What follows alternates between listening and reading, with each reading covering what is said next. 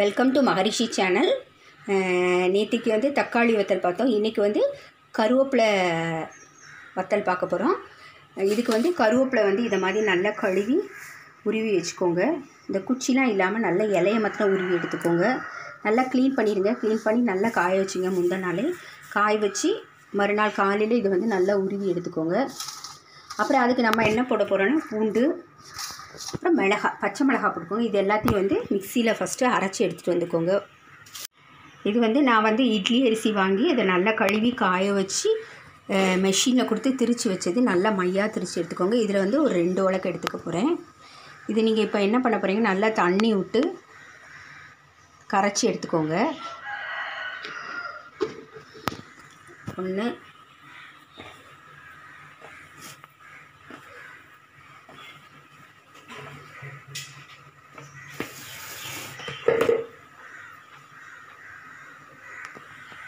ரெண்டு. ஸோ ரெண்டு பாத்திரத்தில் தனித்தனியாக எடுத்திருக்கேன். இது ரெண்டுலேயும் நல்லா தண்ணி விட்டு கரைச்சி எடுத்துக்கலாம். இதை வந்து அரைச்சி எடுத்துகிட்டு வந்துக்கலாம். அதுக்கப்புறம் காமிக்கிறேன். பாருங்கள் அரைச்சி எடுத்துகிட்டு வந்திருக்கேன். இதை மாதிரி அரைச்சி எடுத்துகிட்டு வந்துருங்க நல்லா. அடுத்தது மாவு பாருங்கள் தண்ணி விட்டு நல்லா இங்கே கலக்கி வச்சுருக்கேன். ஸோ இங்கே பார்த்திங்கன்னா தண்ணி நல்லா கொதிச்சுக்கிட்டு இருக்கு. இப்போ வந்து நம்ம இந்த கலச்சி கலக்கி வச்ச மாவு விட்டுருவோம் ஃபஸ்ட்டு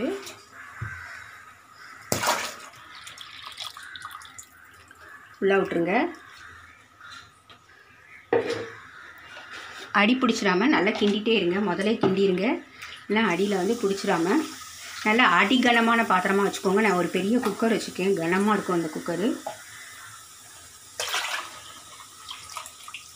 ஸோ ஃபுல்லாக ரெண்டையும் கலக்குனது நான் விட்டுட்டேன் காரத்துக்கு வந்து நம்ம பச்சை மிளகா போட்டோம். அப்புறம் கருவேப்பிலை. பூண்டு ஸ்மெல்லுக்காண்டி பூண்டு போட்டோம்.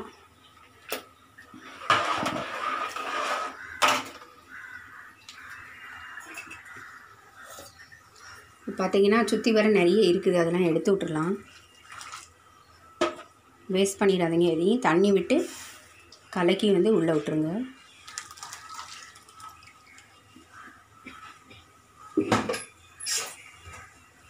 உப்பு வந்து நான் போடுறேன் இப்போ. ஏற்கனவே கொஞ்சம் உப்பு போட்டேன். காணாதுக்கு கொஞ்சம் உப்பு போட்டுக்கிறேன். தேவைக்கு உப்பு பார்த்துட்டு போட்டுக்கோங்க. காரம் வேணாலும் நீங்கள் இன்னும் போட்டுக்கலாம். ஸோ நான் கிண்டிக்கிட்டே இருக்கேன் கொஞ்சம். கலர் வந்து பார்த்திங்கன்னா க்ரீனிஷ் கலரில் வரும். கலரே அழகாக இருக்கும். வத்தல் வந்து நல்லா கருவேப்பிலை போட்டனால மணமாக இருக்கும். வறுத்து சாப்பிடும் போது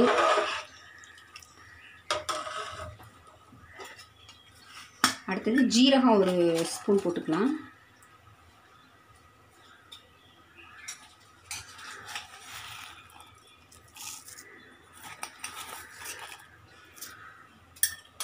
ஸோ ஜீரகத்தையும் போட்டு காரம் வந்து நீங்கள் தேவைன்னா இன்னும் கொஞ்சம் போட்டுக்கோங்க.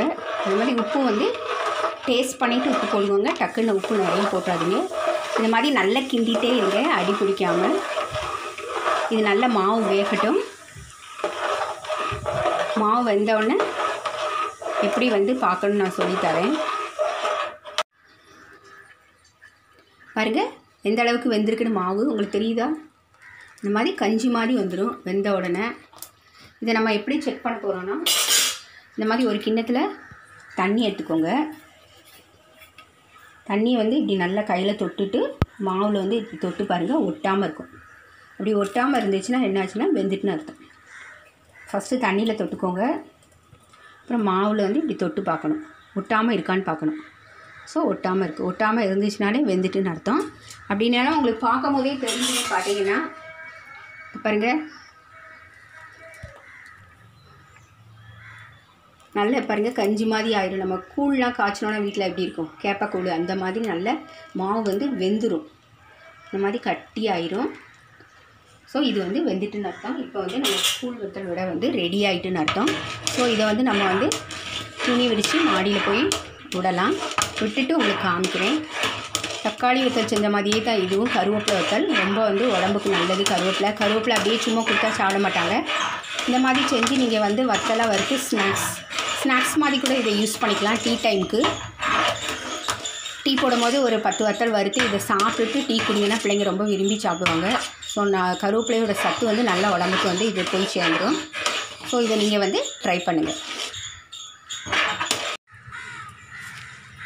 ஸோ இதை மாதிரி எல்லா வத்தலையும் வந்து ஊற்றி எடுத்துக்கோங்க. ஃபுல்லாக ஒரு வெள்ளை துணி விரித்து இது வந்து ஒரு டூ டேஸ் நல்லா காயட்டும்.